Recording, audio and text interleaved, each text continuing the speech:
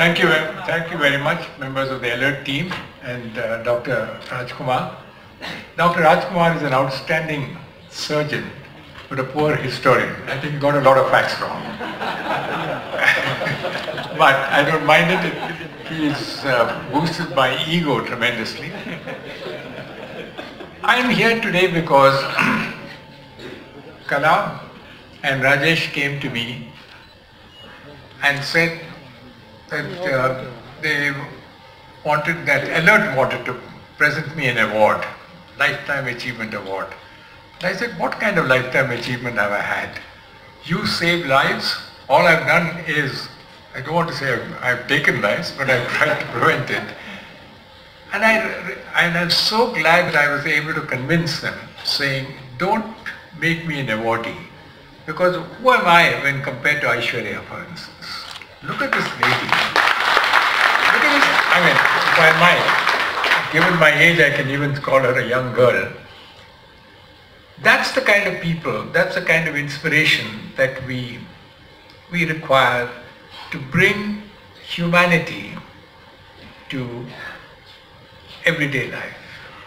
I think there's an element of spiritualism and I can quite understand why Kalam is the role model for alert.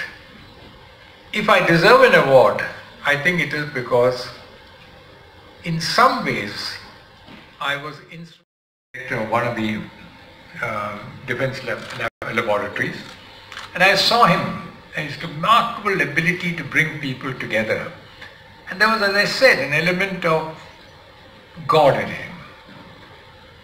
And when Dr. Arunachalam, who was the scientific advisor to the Prime Minister at that time, or Defense Minister, was leaving and we were discussing who should succeed him, both Arunachalam and I thought Kalam should.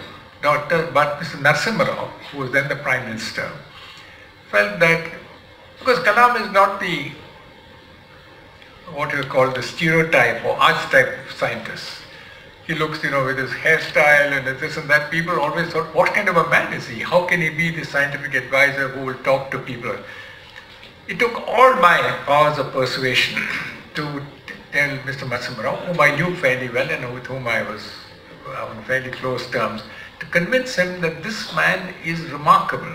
There, there is a spark in him which even Arunachalam was with me. I said, even Arun doesn't have it. So, with great reluctance, Dr. Kalam became the scientific advisor and the rest is history as all of you know. So,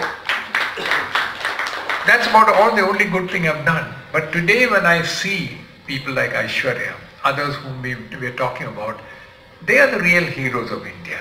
They are the ones who deserve what I call all the accolades that we need to do. And what they're doing, it may not capture headlines every day, but I think that is what makes India the India of our dreams, not anything else. Thank you very much for the opportunity.